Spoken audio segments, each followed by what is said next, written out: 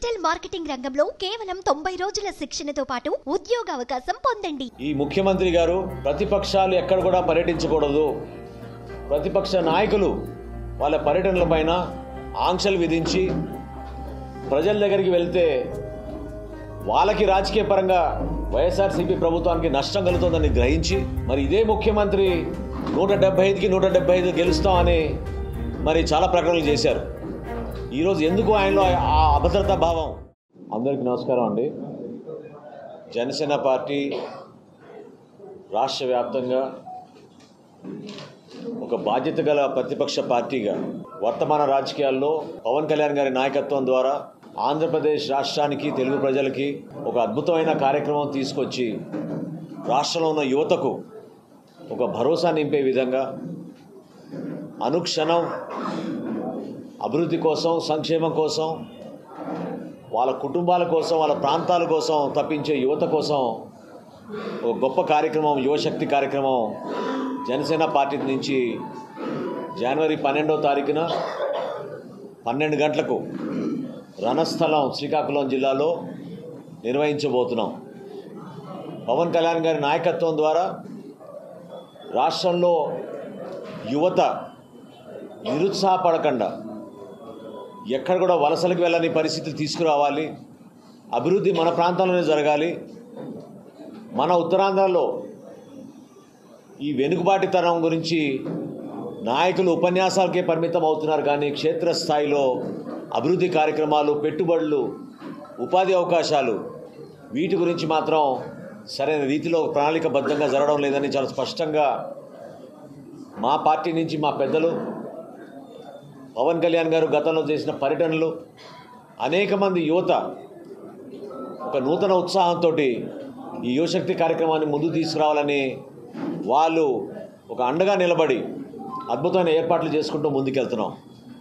ఎక్కడ చూసినా సమస్యలు ఉపాధి అవకాశాల కోసం అక్కడ స్థానికంగా మంచినీటి సౌకర్యం కోసం చివరికి మత్స్యకారులు లక్షల సంఖ్యలో ఈ ప్రాంతం నుంచి వలసలకి గుజరాత్ లాంటి రాష్ట్రానికి కూడా వెళ్ళడం చాలా బాధ కలిగించింది. ఈ రోజున అక్కడ జరుగుతున్న దౌర్జన్యాలు అక్కడ జరుగుతున్న అక్రమ మైనింగ్ క్షేత్రస్థాయిలో ప్రజలు పడుతున్న కష్టాల గురించి ప్రశ్నిస్తే వారిపైన కూడా దాడులు కేసులు పెట్టడం ప్రతి ఒక్కరు కూడా ఖండిస్తున్నారు. రాష్ట్రంలో పరిపాలన అనేది ఎక్కడ కూడా ప్రజాస్వామ్యబద్ధంగా జరగడం లేదు. ప్రతిపక్ష పార్టీగా మాది ఒక బాధ్యతగా మేము మా కార్యక్రమాలు చేసుకుంటూ ప్రతి పౌరుడికి ఒక మంచి కార్యక్రమం ద్వారా వాళ్ళు ఒక భరోసా కల్పించడానికి కోసం జనసేన పార్టీ చేస్తున్న కార్యక్రమాల్ని కూడా అడ్డుపడడానికి అడుగు అడుగున ఈ ప్రభుత్వం అనేక ఆలోచనలతోటి దుర్మార్గమైన ఆలోచనలతోటి ప్రజాస్వామ్యబద్ధంగా ప్రతిపక్ష పార్టీలు ప్రజల గలం వినిపించడానికి ఒక బాధ్యతగా మేము తీసుకుని ముందుకెళ్తూ ఉంటాం. అటువంటి కార్యక్రమాలను కూడా అడ్డుకోవడానికి వాళ్ళు చేస్తున్న ప్రయత్నాన్ని జనసేన పార్టీ తీవ్రంగా ఖండిస్తోంది. రణస్థలంలో జరగబోయే కార్యక్రమం కోసం డిసెంబర్ ఇరవై ఎనిమిదో తారీఖున రాష్ట్ర డీజీపీ గారికి జనసేన పార్టీ తరఫున మేము ఈ కార్యక్రమం వివరాలు పవన్ కళ్యాణ్ గారు ఇందులో పాల్గొంటున్నారని మేము చేసే ఏర్పాట్లు ఒక ప్రైవేట్ స్థలంలో ఇరవై ఐదు ఎకరాల భూమి తీసుకుని దాదాపు పది పన్నెండు రోజుల నుంచి అక్కడ కొన్ని కార్యక్రమాలు చేసుకుంటూ ఆ భూమిలో జరగాల్సిన కొన్ని డెవలప్మెంట్ వర్క్స్ అన్ని కూడా మేము పూర్తి చేసుకుంటూ వస్తున్నాం. ఖచ్చితంగా దీనికి చట్టానికి లోబడి చట్టాన్ని గౌరవించే విధంగా ఎక్కడ కూడా ఎవరిని ఇబ్బంది పెట్టకుండా ప్రతి ఒక్కరికి అన్ని విధాలుగా సౌకర్యాలు కల్పించుకుంటూ ఈ కార్యక్రమం విజయవంతం కావాలని ఒక కొత్త ఉత్తేజంతో ప్రతి ఒక్కరు కూడా పార్టీలో పనిచేస్తున్నారు. ఆ ప్రాంతంలో ఉన్న సంస్కృతి అక్కడ ఉన్న కళాకారులు అక్కడ ఎంతో నైపుణ్యంతో ఎంతో చైతన్యంతో ఉన్న యువకులకి ఒక మంచి అవకాశం. ఏ రాజకీయ పార్టీ చేయని కార్యక్రమం యువశక్తి ద్వారా పవన్ కళ్యాణ్ గారి ఆదేశాల మేరకు మొట్టమొదటిసారిగా దాదాపు వంద మంది యువతకు అక్కడ ఉపన్యాసాలు ఇచ్చే విధంగా ఒక అవకాశాలు కూడా కల్పిస్తున్నాం. రాష్ట్ర వ్యాప్తంగా ఒక్క రోజులోనే సుమారు మూడు వేల నాలుగు వందల ఫోన్ కాల్స్ వచ్చినాయి మాకు నమోదు చేసుకునే వ్యక్తులు. దాదాపు పన్నెండు వందల ఈమెయిల్స్ వచ్చినాయి. వీళ్ళందరూ కూడా ఎంతో ఉత్సాహంగా అనేక అంశాలపైన విద్యపైన ఆరోగ్యం పైన వ్యవసాయం పైన భవిష్యత్తులో ఎటువంటి ఉపాధి అవకాశాలు కల్పించాలి? ఎటువంటి పాలసీ విధానాలు ప్రభుత్వాలు తీసుకురావాలి?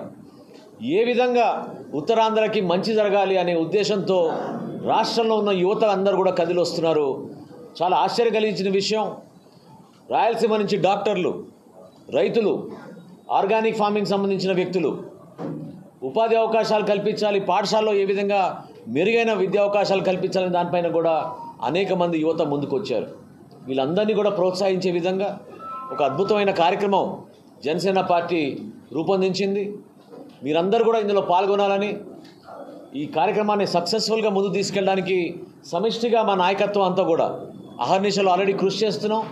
రాబోయే వారం రోజుల్లో కూడా మేము ఉత్తరాంధ్రలో ప్రత్యేకంగా పర్యటించి అన్ని మండలాల నుంచి కూడా యువతకు ఒక గొప్ప అవకాశం కల్పించి ఈ వేదికని పవన్ కళ్యాణ్ గారితో పంచుకునే విధంగా పవన్ కళ్యాణ్ గారి సమక్షంలో వాళ్ళు కూడా ఈ సమస్యలపైన మాట్లాడే విధంగా ఒక గొప్ప అవకాశం కల్పించాం. దాన్ని మీరందరూ కూడా గమనించి పాల్గొని అన్ని ప్రాంతాల నుంచి ప్రతి ఒక్కరు కూడా వచ్చి దీన్ని ఒక అద్భుతమైన యూత్ ఫెస్టివల్గా దీన్ని ముందు తీసుకెళ్తామని ఈ సందర్భంగానే మీకు తెలుపుకుంటున్నాను. అదేవిధంగా ఇందాక నేను సంబోధించినట్టు ప్రధానంగా ఈ ముఖ్యమంత్రి గారు ప్రతిపక్షాలు ఎక్కడ కూడా పర్యటించకూడదు. ప్రతిపక్ష నాయకులు వాళ్ళ పర్యటనలపైన ఆంక్షలు విధించి ప్రజల దగ్గరికి వెళ్తే వాళ్ళకి రాజకీయ పరంగా వైఎస్ఆర్సీపీ ప్రభుత్వానికి నష్టం కలుగుతుందని గ్రహించి మరి ఇదే ముఖ్యమంత్రి నూట డెబ్బై ఐదుకి నూట డెబ్బై ఐదు గెలుస్తామని మరి చాలా ప్రకటనలు చేశారు. ఈరోజు ఎందుకు ఆయనలో ఆ అభద్రతా భావం? ఎందుకు ఈ విధంగా కొత్త చట్టాలు తీసుకొస్తున్నా అనేది మేము ప్రశ్నిస్తున్నాం. ఆయనేమో హెలికాప్టర్లో ప్రయత్ని ప్రయాణం చేస్తూ ఉంటారు. సభలు అనేక ప్రాంతాల్లో ఏర్పాటు చేసుకుని ప్రభుత్వ ఖర్చుతోటి ట్యాక్స్ పేయర్స్ ఖర్చు కష్టపడి కట్టిన ట్యాక్స్ అమౌంట్ తోటి సభలు నిర్వహించుకుని అది రాజకీయ వేదికగా ఉపయోగిస్తూ ఉంటారు. నూట యాభై ఒక్క సీట్లు ఇచ్చారనే నమ్మకంతో ప్రజలు సుపరిపాలన చేస్తారని వాళ్ళు ఎదురు చూస్తే మీరేమో ఈ మెజారిటీని కేవలం సామాన్యుల పైన మీటింగ్లకి వచ్చిన ఆదరణ చూసి తట్టుకోలేక ఏదో విధంగా ప్రతిపక్షాల ఈ ప్రస్థానాన్ని ఆపాలని చేస్తున్న ప్రయత్నాన్ని మేమందరం కూడా ఖండిస్తున్నాం. ఖచ్చితంగా ప్రజల గురించి ఆలోచించాల్సిన వ్యక్తి అయితే ఎందుకు ఆయన ఎందుకు చేరి రోడ్ షోలు? ఆయన ఎందుకు ప్రజల దగ్గరికి రాడు? ఎందుకు వేల మంది పోలీసు అధికారులతోటి మీరు సభలు నిర్వహించుకుంటారు? లబ్ధిదారుల కోసం మీరు చేస్తున్న కార్యక్రమంలో కూడా లబ్ధిదారులు మీరు తరలించాల్సిన అవసరం ఏముంది ప్రభుత్వానికి? మేము ప్రతిపక్ష పార్టీగా నిజాయితీగా ప్రజల్లో కష్టపడి ప్రజలు ఎదుర్కొన్న సమస్యలపైన గలవిప్పించే బాధ్యత మాది. ఎట్టి పరిస్థితుల్లో కూడా దాంట్లో తగ్గే ప్రసక్తే లేదు. వీళ్ళు ఎన్ని ఒత్తిళ్ళు తీసుకొచ్చినా ఎన్ని కేసులు పెట్టినా ఎన్ని చట్టాలు తీసుకొచ్చినా చట్టాలని గౌరవిస్తాం ప్రజల్ని కూడా గౌరవిస్తాం. ప్రజల వాయిస్ మీద తీసుకెళ్ళే విధంగా మాది ఒక బాధ్యత. అంతేగాని వీళ్ళలాగా బటన్ నొక్కేస్తే అభివృద్ధి జరిగిపోతుంది సంక్షేమం జరిగిపోతుంది మీటింగ్లకు రాపోతే మీ పెన్షన్లు తీసేస్తామని ముఖ్యమంత్రి గారిని కలిస్తే మీకు లక్ష రూపాయలు వస్తాయని ఇది ఎక్కడ డ్రామా అండి ఇది? గతంలో ఎప్పుడైనా చూసామా మనం ఈ విధంగా? ఇదే ముఖ్యమంత్రి మూడున్నర సంవత్సరాలు ఎందుకు స్పందించలేదు? దివ్యాంగులు తల్లులు పాపం బిడ్డల్ని వేసుకుని ముఖ్యమంత్రి గారి సభలకు వస్తే కనీసం దగ్గర కూడా రానిచ్చేవాళ్ళు కాదు. ఈ రోజున ఇదే ముఖ్యమంత్రి రైతుల్ని కానీ దివ్యాంగులు కానీ ఆయన ఏదో కారాపినట్టు లక్ష రూపాయల ఆర్థిక సాయం ఇచ్చినట్టు ఒక కుటుంబానికి భారీగా ప్రచారం చేసుకుంటున్నారే? మరి పవన్ కళ్యాణ్ గారు ఆంధ్రప్రదేశ్లోనే కాదు భారతదేశంలో ఏ రాజకీయ పార్టీ చేయని కార్యక్రమం ఆత్మహత్య చేసుకున్న కౌలు రైతు కుటుంబాలకి లక్ష రూపాయల ఆర్థిక సాయం ఇచ్చుకుంటూ ప్రతి జిల్లాలో కూడా మేము అంత అద్భుతమైన కార్యక్రమాలు చేస్తుంటే మొన్న జరిగిన సత్తెనపల్లిలో జరిగిన మీటింగ్లో కూడా ఆంక్షలు విధించి జిల్లా ఎస్పీ ఫోన్ చేసి మరి ఈ మీటింగ్ క్యాన్సిల్ చేసుకోవాలి మేము పర్మిషన్ ఇవ్వమని చెప్పి మమ్మల్ని బెదిరిస్తే ఏ విధంగా ప్రజాస్వామ్యంలో రాజకీయ పార్టీగా జనసేన పార్టీ ఎప్పుడు కూడా వెనకాడదు. నిజాయితీగా ఒక విప్లవం తీసుకొచ్చే విధంగా ప్రజలు అర్థం చేసుకునే విధంగా మేము ముందుకెళ్తామని ఈ సందర్భంగా తెలుపుకుంటాం రాబోయే రోజుల్లో ఖచ్చితంగా ప్రజలు వైఎస్ఆర్సీపీ ప్రభుత్వాన్ని ఇంటికి పంపించడానికి సిద్ధమయ్యారు. అది చూసి ఒక అభద్రతా భావంతో ముఖ్యమంత్రి ఈ విధంగా ప్రవర్తిస్తున్నాడనే నమ్మకం ప్రజల్లో కూడా చాలా స్పష్టంగా ఏర్పడింది. జనసేన పార్టీ ఏ కార్యక్రమం చేసినా అద్భుతమైన ఏర్పాట్లు చేస్తాం. ప్రతి ఒక్కరిని జాగ్రత్తగా ఇంటికి పంపించే విధంగా ప్రతి ఒక్కరికి అన్ని సౌకర్యాలు కల్పించే విధంగా ఏ సభలో కూడా ఎటువంటి ఆటంకాలు జరగకుండా మేము మా కార్యక్రమాలు చేసుకుంటూ ముందుకెళ్తూ ఉంటాం. ఇదే విధంగా మనం అర్థం చేసుకోవాల్సింది ఏంటంటే ఎప్పుడైతే ప్రజలకి సమస్యలు ఎదుర్కొంటున్నారో ఎప్పుడైతే ప్రజల్లో ఒక ఆందోళన మొదలైందో ఈ ముఖ్యమంత్రి కావాలని ఈ విధంగా డైవర్షన్ చేస్తూ ఉంటారు. ఎవరు కోరుకున్నారు చెప్పండి ఇప్పుడు ఈ జియో గురించి. ప్రజలు కోరుకునేది మీరు పెన్షన్లు ఇమ్మని. ఎందుకు మీరు లక్ష పెన్షన్లు తొలగించారు నాలుగు లక్షల పెన్షన్లు వాళ్ళకి నోటీసులు ఇచ్చారు. ప్రజలు ఆ విధంగా ఆందోళనలో ఉన్నారని తెలిసి రోడ్ల గురించి అడుగు అడుగుతున్నారని తెలిసి మంచినీటి సౌకర్యం గురించి అడుగుతున్నారని తెలిసి ఆ సమస్యలపైన మాత్రం మాట్లాడరు. ప్రతిరోజు ఒక కొత్త జియో తీసుకొచ్చి పోలీస్ శాఖ వారిని ఇబ్బంది పెట్టి ప్రతిపక్షాలపైన దాడులు చేసుకుంటూ సభ ఎట్టి పరిస్థితుల్లో జరగకూడదని చెప్పి హుకుములు జారీ చేస్తే మాత్రం ఇది జరిగే పని కాదు. మీకు ఇచ్చిన మెజారిటీ చూసుకుని మీరు రేపటి రోజున పౌరులు రాష్ట్రంలో ఏ విధంగా బతకాలి? ఏ విధంగా ఏ కార్యక్రమం చేయాలన్నా కూడా కేవలం ముఖ్యమంత్రి గారి అనుమతి ప్రభుత్వ అనుమతి ఉండాలంటే అసలు నిజంగా మనం ఏ దేశంలో ఉన్నాం? ఏ రోజు తయారు చేసిన చట్టం ఇది? ఏ యాక్ట్ వీళ్ళు కోట్ చేశారు చెప్పండి? వీటన్నిటిని ఆధారం చేసుకుని జనసేన పార్టీ మాత్రం నిరంతరం ప్రజల్లోనే ఉంటాం ప్రజల పక్షాన్ని నిలబడతాం ప్రజలకు చేయాల్సిన కార్యక్రమాలు ఎక్కడ కూడా వెనకాడమని ఈ సందర్భంగా మరొకసారి తెలుపుకుంటున్నాను. ఇరవై మూడో తారీఖున మేము డీజీపీ గారిని కోరాం.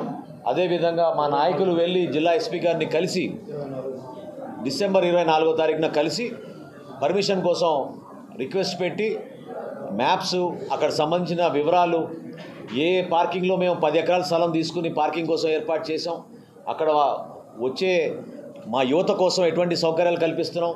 ఈ పూర్తి వివరాలు కూడా వాళ్ళకి మేము సమకూర్చాం. మాకు ఆ నమ్మకం ఉంది. పోలీస్ శాఖ నుంచి మాకు ఇబ్బంది ఉండదని నమ్మకం మాకు ఉంది. ఏమైనా సూచనలు వాళ్ళు చేస్తే ఆ సూచనలకు అనుగుణంగా కొన్ని మార్పులు చేయాల్సి వస్తే కూడా అది కూడా చేస్తాం తప్ప ఖచ్చితంగా ఈ సభ అద్భుతంగా జరుగుతుంది అనేది నమ్మకం మాలో ఉంది. అంటే రాజకీయాల్లో నిజాయితీ ఉండాలి. ఒక ఆలోచన విధానానికి మనం కట్టుబడి ఉండాలి. పరస్పరం గౌరవించుకుంటూ ప్రజల దగ్గరికి వెళ్ళి మనం ఓట్లు అడిగినప్పుడు కొన్ని అంశాలపైన మనం నిలబడతాం. వాస్తవంగా ఈరోజు తెలంగాణ రాష్ట్ర సమితి కేసీఆర్ గారు ఆయన పార్టీ ఏర్పాటు చేసిన మొదటి రోజు నుంచి కూడా తెలుగు రాష్ట్రం అద్భుతంగా ఆ రోజు చక్కటి ప్రశాంతమైన వాతావరణంలో ఆయన ఆ రోజున చీలిక తీసుకురావడానికి కోసం చేసిన ప్రయత్నం ఆయన విజయం సాధించుకున్నారు. ఎంతోమంది నష్టపోయారు. తెలంగాణ ప్రజలకి వాళ్ళ ఆకాంక్షని గౌరవించుకుంటూ కేంద్ర ప్రభుత్వం ఆ రోజున ఒక నిర్ణయం తీసుకుంది. సరే అదంతా అయిపోయింది. రెండు వేల పద్నాలుగు నుంచి మనం ఏదో కష్టపడి మన రాష్ట్రాల్లో మనం అభివృద్ధి చేసుకుందామని మనం ముందుకెళ్తా ఉన్నాం. కనీసం ఒక రాజధాని లేదు లేదు ఈ రోజున మనకి. పోలవరం ప్రా ప్రాజెక్ట్ గురించి మాట్లాడే నాదుడు లేడు.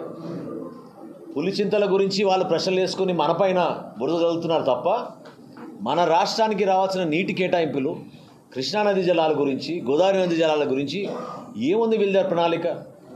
ఆంధ్రప్రదేశ్కి ఏ విధంగా వీళ్ళు ఒక మంచి ఆలోచనతో వచ్చి సేవా కార్యక్రమాలు చేయగలుగుతారు రాజకీయంగా? దాని గురించి ఆలోచించాలి వీళ్ళు. బీఆర్ఎస్ అనేది ఈ రోజున సడన్గా ఓవర్ నైట్గా కేసీఆర్ గారు తలుచుకుంటే భారతదేశానికి సంబంధించిన అన్ని అంశాలపైన మేము పోరాడతాం ప్రజల్లో కంటే మీలో నిజాయితీ ఎక్కడ ఉంది? ఆంధ్రప్రదేశ్కి మీరు ఏ విధంగా ఉపయోగపడతారు? మా ప్రజలకి మీరు ఎటువంటి ప్రణాళికతోటి మీరు ముందుకు వచ్చి మీరు చెప్పగలుగుతారు? సభ నిర్వహించుకుంటున్నాం నాయకులు కొంతమంది చేరిపోయారు బంగారమైన భవిష్యత్తు ఉంటుందంటే మరి బంగారమైన తెలంగాణ కోసమే కదా మీరు నిలబడింది? బంగారమైన ఆంధ్రప్రదేశ్ కోసం కాదు కదా మీరు నిలబడింది? ఇక్కడ మంచి పరిపాలన ఇచ్చి అందించి జగన్మోహన్ రెడ్డి గారు చేసిన అతిపెద్ద మోసం అక్కడ మన ఆస్తులు తెలంగాణ ప్రభుత్వానికి రూపాయి కూడా తీసుకోకుండా అప్పచెప్పడం దాని గురించి మాట్లాడమనండి ఈ రోజున. ప్రతి ఒక్కరికి తెలుసు దీని వెనక ఏముంది కుట్ర అనేది. కేవలం జగన్మోహన్ రెడ్డి గారికి సహాయం అందించడానికి సహకారం అందించడానికి రాబోయే ఎన్నికల్లో జనసేన పార్టీ ఓటు చీల్చడానికి కోసం చేస్తున్న ప్రయత్నం ఇది. మీలో నిజాయితీ ఉంటే ఒక మంచి ప్రణాళికతోటి చిత్తశుద్ధితోటి ఆంధ్రప్రదేశ్కి మీరు ఏం చేయబోతున్నారో మీరు ముందు ఆ నిర్ణయం తీసుకుని మీరు చెప్పండి. దాని తర్వాత ఈ ప్రెస్ కాన్ఫరెన్స్లు ఏర్పాటు చేయమని నేను కోరుతున్నాను.